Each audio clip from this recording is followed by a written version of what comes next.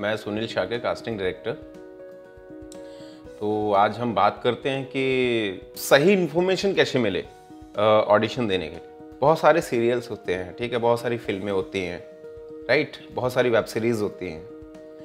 तो सबसे पहले आप एक काम करो कि वो वेब सीरीज़ किस प्रोडक्शन हाउस की है, ठीक है? वो देखिए।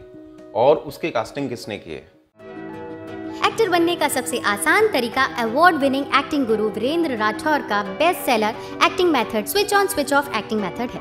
इस कोर्स से सीखकर आप भी कुछ ही दिनों में एक बेहतरीन एक्टर बन सकते हैं, जिसे साबित करते हैं इसके अमेजिंग अमेजोन और गूगल के ratings and reviews switch on switch off acting method अभी तक का सबसे सरल और प्रभावी मेथड है, जो आपके समय और महँगी फ़ीस दोनों को बचाता है। Switch on switch off acting method course book आपको Amazon Flipkart joint film website पर अवेलेबल है। तो सबसे इंपॉर्टेंट चीज़ आपको ये पता चलेगी कि हाँ वाकई में ये कास्टिंग डायरेक्टर हैं सीरीज़ के। तो हम उनसे कैसे पहुँचे जाए? तो आप सोशल मीडिया का सहारा लेके या मतलब इंस्टाग्राम पे अगर वो अवेलेबल है फेसबुक पे अवेलेबल है तो उनके द्वारा पहुँच सकते हैं और आप उनसे उनकी मेल आईडी पे आप अपने फोटोग्राफ सेंड कर सकते हैं। मेल कर सकते हैं। दूसरी चीज़, अगर आपका लुक जाएगा किसी कैरेक्टर के लिए तो वो अपने प्रोजेक्ट के लिए आपको कॉल करके बुलाएँगे। दूसरी चीज़ आती है कि ऑडिशन की प्रिपरेशन कैसे होनी चाहिए? मेल किया आपने, और आपका लुक एक कैरेक्टर के लिए गया, और वो लुक फाइनल हुआ। और जब वो लुक फाइनल हो जाता है तो उसके बाद आपको एक स्क्रिप्ट भेजी जाती है। यहाँ सपोज़ जैसे कि मैंने आपका किसी का मतलब मेरे कैरेक्टर मतलब मेरे कैरेक्टर में अगर आप किसी भी एक्टर मतलब कोई भी फिट है तो मैं क्या करूँगा कि उन आपको एक स्क्रिप्ट भेजूँगा, ठीक है? स्क्रिप्ट जब मैं भेजूँगा तो मेन क्या है कि देखो, एक होती है मोनोलॉग की स्क्रिप्ट और एक होती है कन्वर्जेशन वाली स्क्रिप्ट ठीक है? दो तरीके के होते हैं। जहाँ तक है कि टेलीविज़न में हमने देखा है कि वहाँ पे मोनोलॉग की स्क्रिप्ट दी जाती है। और हम वेब करते हैं या फ़िल्म करते हैं तो उसमें हमको एक कन्वर्जेशन स्क्रिप्ट दी जाती है, जिसमें कि बहुत अच्छे से सीन क्रिएट करना पड़ता है। जैसे कि कोई घर का सीन है माँ से बात कर रहा है पिताजी से बात कर रहा है बहन से बात हो रही है है ना या दोस्तों से बात हो रही है। तो हम क्या करेंगे कि अगर वो वर्क फ्रॉम मतलब होम जैसा जैसा भी कोविड के टाइम पे रहा कि सबने अपने घरों से ऑडिशन बना बना के भेजे हैं तो उस स्क्रिप्ट को, को जब आपके पास आती है ठीक है तो हमारी जो टीम में से हमारे जो भी टीम का मेंबर होता है तो वो आपको पूरा प्रॉपरली एक कैरेक्टर के बारे में ब्रीफ देगा। बताएगा, ठीक है, उसका लुक क्या है फील क्या है उस कैरेक्टर का, जब बताने के बाद में फिर आपको जो है ना, उसी तरीके का जो सीन जिस तरीके से क्रिएट किया है तो मुझे जहाँ तक लगता है ना कि अगर आपके पास वो, उस सीन के अंदर जो प्रॉप्स यूज़ होने वाला है, जो प्रॉपर्टी यूज़ होने वाली है, या मतलब जो भी कॉस्ट्यूम उसमें लगे तो हो सकता है अगर आपके घर पे कॉस्ट्यूम है प्रॉप्स है, ठीक है तो वो चीज़ को आप मतलब करने के बाद में तो आप एक सीन क्रिएट करके अगर वो ऑडिशन अगर आप करेंगे तो बेटर रहेगा। क्योंकि उसमें क्या है ना, आपका एक एक्टिंग का जो फील होता है ना, वो निकल के सामने आएगा। जिस तरीके से आप एक जैसे कि हमारी टीम से किसी ने बोला कि ये थोड़ा सटल करना है, या स्पॉन्टेनियस करना है, इसको स्पॉन्टेनियस रखना है। बहुत ही मतलब स्वाभाविक कैरेक्टर है ये, ठीक है? तो उस फील के साथ आप वो कर पाएँगे। लेकिन बशर्ते, लेकिन जो क्यूज जो होंगे ना, जो क्यूज होंगे तो एक उसी फील का बंदा अगर वो क्यूज दे तो बेटर रहता है। फीमेल के लिए आ, मैं आपको बता दूँ देखिए इस टाइम पे हमारी फ़िल्म इंडस्ट्री पूरी ट्रांसपेरेंट है पारदर्शिता है एकदम से।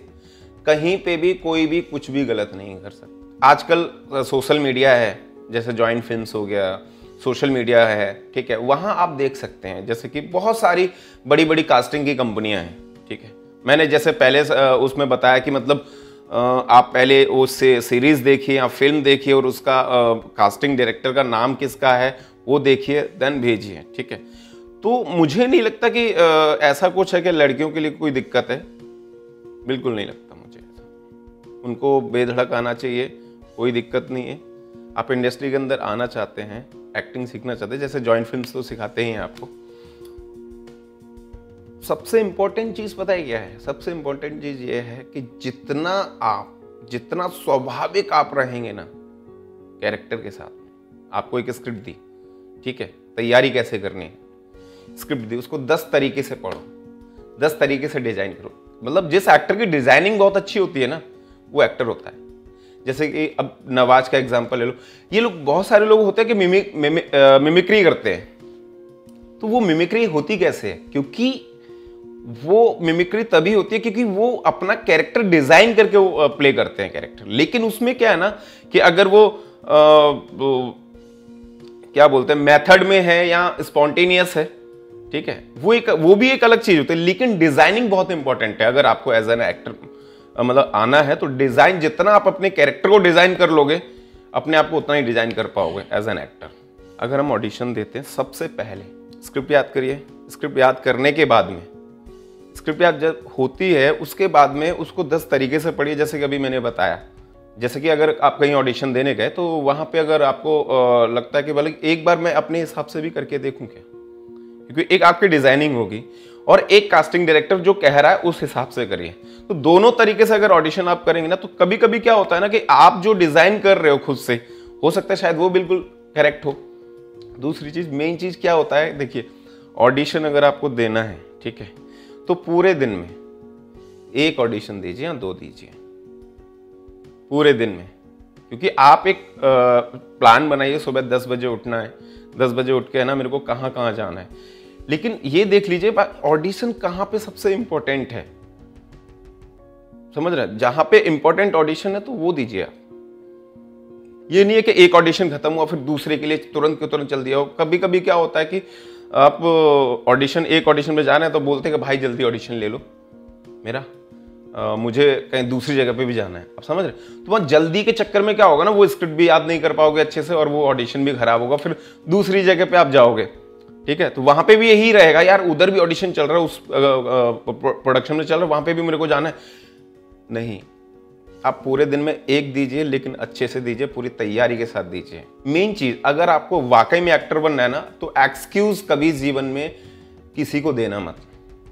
किसी भी कास्टिंग डायरेक्टर को मत देना, क्योंकि ये आपका काम है। ये लाइन आपने चुनी है। आपको उस टाइम पे हाजिर होना कि हाँ हमें जाना है तो जाना है, क्योंकि ये आप खुद करना चाहते हैं। आप एक एक्टर सक्सेसफुल एक्टर बनना चाहते हैं बॉलीवुड में फ़िल्म इंडस्ट्री में काम करना चाहते हैं लेकिन नहीं जानते कि क्या करना है, अगर सब कुछ जानना चाहते हैं, एक बार में ही अपना सक्सेसफुल करियर बनाना चाहते हैं तो आपको ज्वाइन करना चाहिए eight days Bollywood career guidance workshop